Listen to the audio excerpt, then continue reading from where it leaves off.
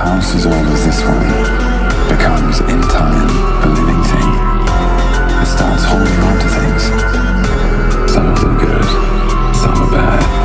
Some should never be spoken about again. Did you feel the power of that place? You make up the sweetest smelling reasons to go back. But I was wrong.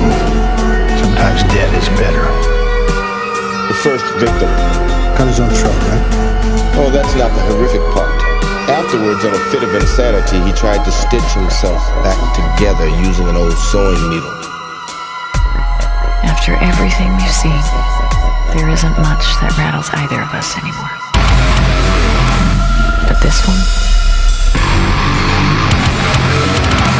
this one still haunts me.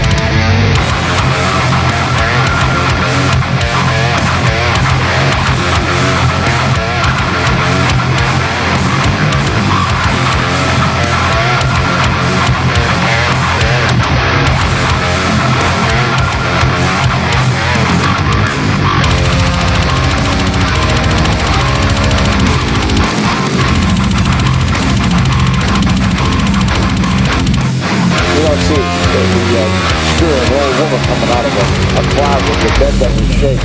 You hear pounding sounds. The room doesn't turn icy cold. You don't see lights flashing across the room.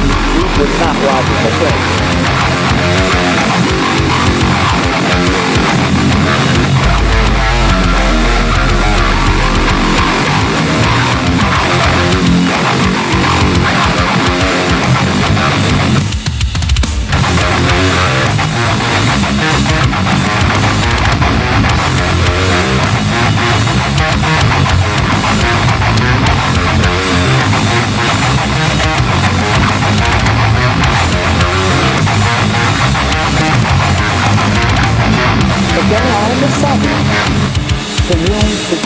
Very quiet, and my ears were ringing, and they rang so loud that it blotted out everything that was in that room. Then it felt as if someone came behind me. There was a tremendous jolt to my body, and I was out of my body. What a beautiful experience. Because what it means is that we are truly both soul.